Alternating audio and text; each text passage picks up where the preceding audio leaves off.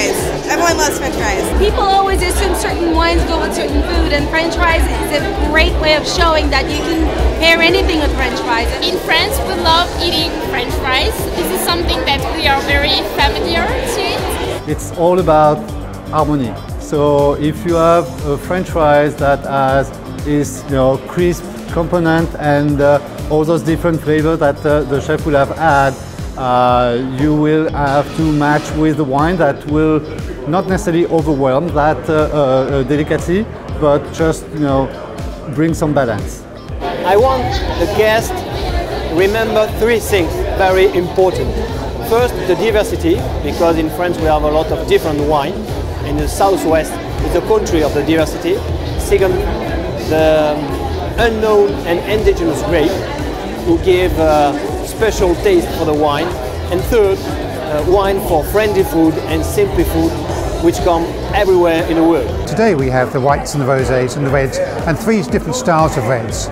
So you really are moving from the lightest way of cooking a fry to the biggest, burliest, duck fat type fry. And the wines all stand up to those in their different ways. Today I'm making uh, french fries with tomatillo braised pork shoulder, Oaxacan queso, cilantro, and scallion. I've got two, two wines uh, in the contest. One is my sparkling wine, it's 100% Mauzac, it's a grape typical of my area. And the other, it's uh, the Florentin Cuvée. Here I'm presenting uh, Les Vignes Retrouvées from Saint Mont appellation. We're doing a short rib uh, pho poutine with bone marrow and cheddar cheese curd. Our french fries are surf and dirt. They're going to be lobster salad with dirty french fries.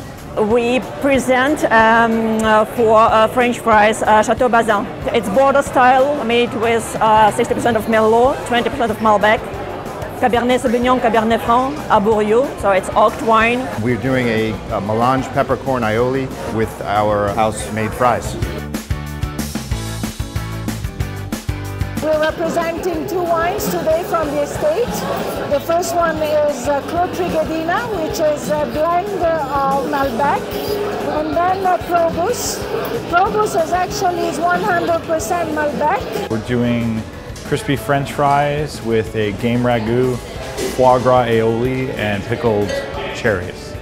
Here we have two wines, Chateau Bouscassé, and 10 kilometers further we have Chateau Montus.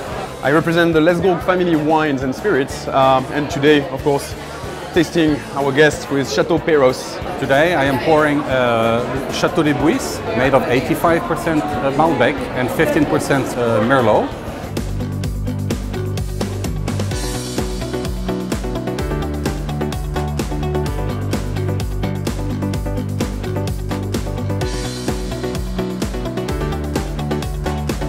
Greg is uh, from American Cut. He's last year's People's Choice winner. All right. All right. Take it away. Got it. So for the People's Choice Award this year, the prize is Chef Matt O'Neill with David Burke Kitchen, Crable Hospitality with the game prize, and the People's Choice paired with the Chateau Peyros 2012. The best French fries and wine pairing is Section 5 full body red wine, Chef Matt O'Neill, with his game fries. And the pairing is with uh, Chateau Bouscassé from Alain Brumont 2012.